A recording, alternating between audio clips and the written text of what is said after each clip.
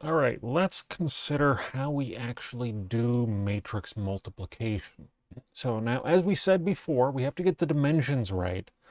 And so we're going to have our number of rows and our number of columns. If we multiply 2, in this case, I'm going to multiply A by B. And order matters here. And that's going to give me C. So I've got, uh, let's just write it out. I've got 2 by 3, and this one is 3 rows by 2 columns. Since these two inside numbers are the same, we can make this work, and our output is going to be 2 by 2, um, yeah, 2 by 2, 2 rows, 2 columns. So what are these rows and columns going to be? Well, the basic pattern looks like this. So for these two rows we're going to get out, we're sort of going to copy across these guys. Uh, so we're going to copy this guy here and here, and then we're going to copy these guys across uh, these columns. So let me make sure I'm thinking through this right. We're going to have, whoops, I already got it back. All right, three, six, seven, three, six, oh, I'm not giving myself enough space. Three, six, seven. I'm going to write over that six. And then I've got a 12, 9, 11, 12, 9, 11. All right, so I'm just basically copying this twice because I'm going to have two columns here. And I'm going to copy this. Um, am I doing this right? Yeah, then I'm going to copy this um, here and here. That's right. Okay. So the way I'm copying this is it's going to be row by column. So we're copying 6, 5, 13, 6, 5, 13, 12, 10, 2, 12, 10, 2. So let me add just a couple colors here to really drive home the pattern. We've got this dark green, which is showing up here and here. We've got this red, which is showing up here and here. We've got, let's go with neon pink. We've got here, and that's showing up. Am I doing this right? Row, column, row, column, row, column, row, column. Right, okay. Pink and pink. Okay. I'm catching up to myself. It's been a little while. Pink and pink, um, and then purple and purple. The pattern, it was just so clear in my head for just a second and then it just fell out, but here it is again. So purple, purple, pink, pink.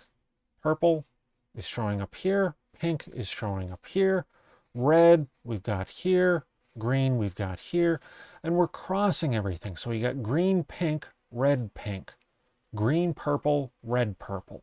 We've got each of these combinations. We're basically mashing together all of these numbers. So we've got them blocked together, but what are we actually doing with them? We're multiplying these and then adding them to the multiplication of each of the other ones. So we're adding, we're adding, we're adding, we're adding, adding, adding, adding, adding. And then otherwise multiplying. So let's go ahead and go through those calculations just to see what we got. 3 times 6, that is 18. 6 times 5 is 30. 7 times 13 is 70, 91. We add those together, and that is going to be the number that we end up with. I'm a little faster multiplying than adding, so I'm not going to do that just yet. Uh, 12 times 6 is 60, plus 2 is 72, uh, 45, and then 11 times 13, that's what, 130 plus 13 is 143. 36 times 12, that's 360 plus 72 is 432. I might be a little off there. The specific number is not the important thing. The important thing is the structure of it. Plus 90 plus 22. All those other ones were a lot easier. And so we're going to just say this is x11, or I guess c11. c11, we're going to get c11, uh, c21, row comes first. C row 1, column 2, C row 2, column 2 is going to be whatever these numbers add up to, assuming I did the math right. Now, if you get the computer to do this, it's really easy.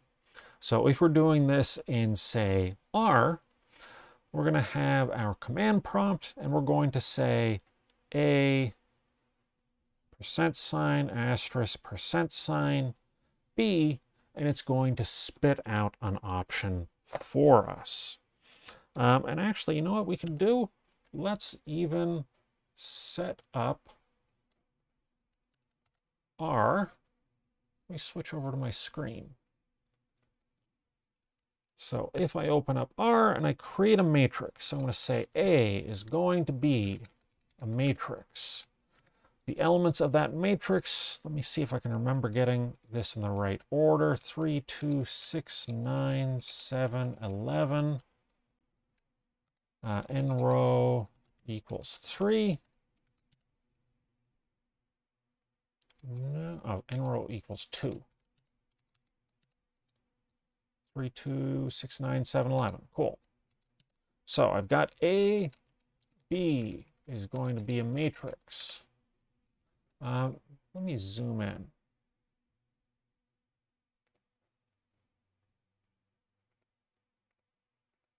Profiles, here we go.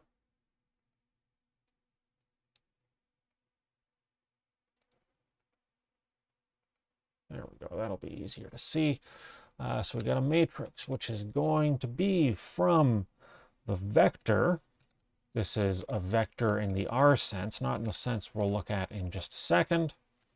12, 10, and 2. And here, n row equals 3. So there is B. So let's do A times B. And we've got a 2 by 2 matrix, 139. Let me see what my numbers were. I had an 18, a 91, and a 30. Is that right? Let's see, 3 times 6 plus 6 times 5 plus 7 times 13 is 139. Cool. So that is it in the computer. Now A times B, this is itself not terribly exciting, but if this was not 2 by 2, but was something like 100,000 by 100, being able to multiply matrices together like this becomes an incredibly powerful thing. All right, so that was a short example. I'm going to stop this video here, and we'll take a look at this uh, on pen and paper again in just a second.